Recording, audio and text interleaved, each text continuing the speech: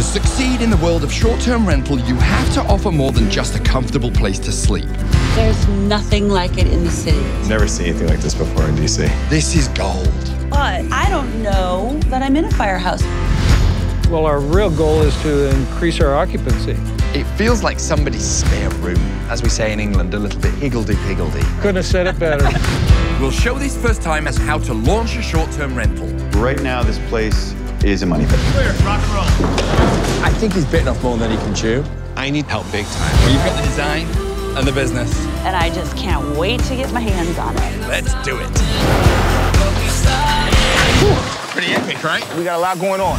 From how to wow your guests with great design On budget, but on high style. We are deep into work on our vineyard rental. Wow! To high-tech marketing Drones. We like drones. I love drones.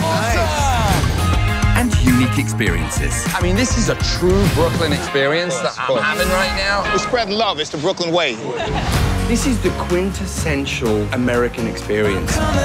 No pressure. Just make it perfect. Today is the big day. You ready? Yes. We're ready. Oh my god. Jen hit a home run here. Oh, God. Oh, my God. It's beyond what I would have imagined. We are forever grateful. Would stay here. Me too.